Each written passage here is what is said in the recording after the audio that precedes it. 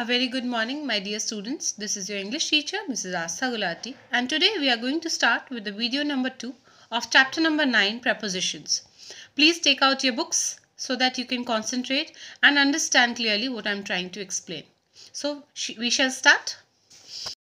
Children, in the last video, I taught you about the three types of prepositions that is place, time, and movement or direction.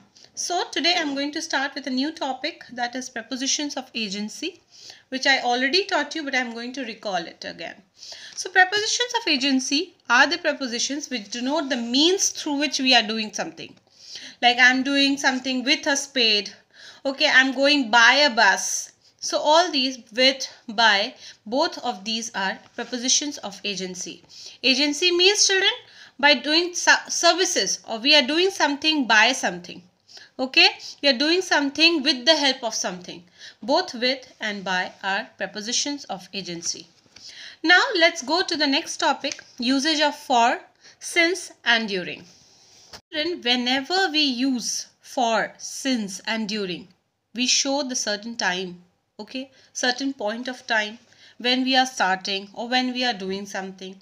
So we use for since during for a period of time to show a period of time, to denote a period of time. Read the table below to understand the difference in usage for these three prepositions of time. Why, when do you use for or when do you use since or when do you use during? We shall learn about this.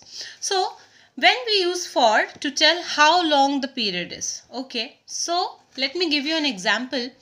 I will teach you for half an hour for half an hour means children i'm denoting a time period for which i'm going to teach you in which i'm going to teach you for which i'm going to teach you i'm going to teach you for half an hour for 30 minutes.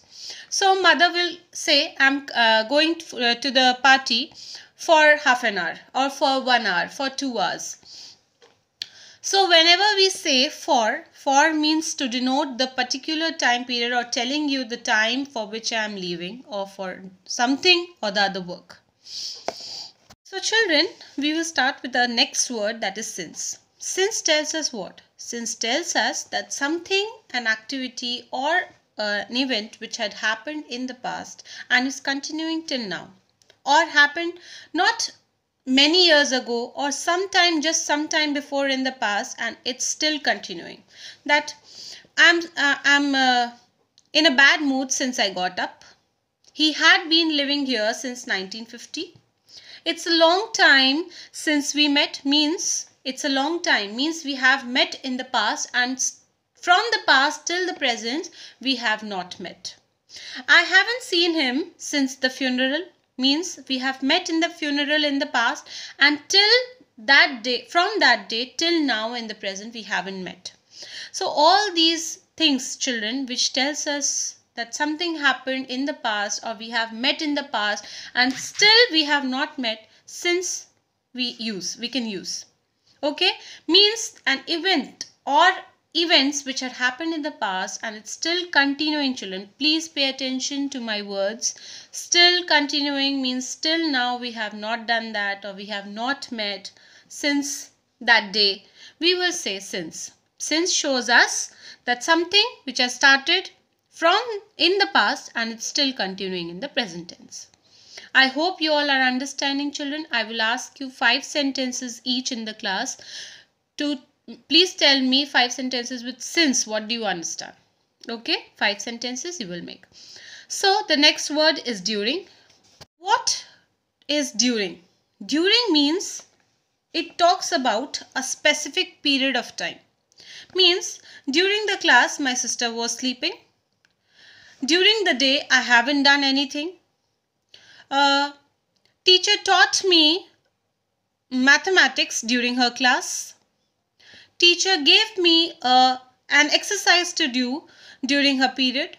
So children, during tells us about a specific period of time. In that period, something happened or I have done something.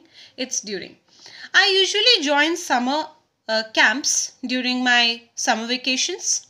So during means in this period what I do or what I did or what, what will I am do what will I do is always during. Whether it is past, whether it is present, whether it is future, it does not matter. It's always during. Okay. Uh, I've gave you I gave you a lots of a lot of examples regarding all the three words for since and during. I hope it is very clear in your mind children. But again I'm going to recall for, during and since. Okay. Means for is to tell the long period of time. When a period for 10 years I'm going to study in this university. For 10 years I'm going to stay uh, with my friends for 10 years I'm not going anywhere. And since here, since is the time to tell or since is the word which tells that something has started in the past and still continuing in the present. So since is, is the word to tell something that started before and is still happening. Okay. It is raining since morning so morning is the past tense past and now it is night then i will say it is morning since morning it is raining since morning means from the morning it, the rain has started and it's still continuing in present tense. So and the next word is during.